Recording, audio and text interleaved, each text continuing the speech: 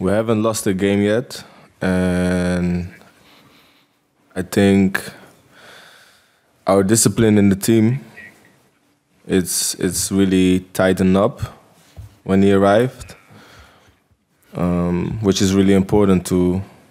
to have results in a in a especially in a tournament. Um, obviously, everybody knows his uh, vision, also his character, and I think that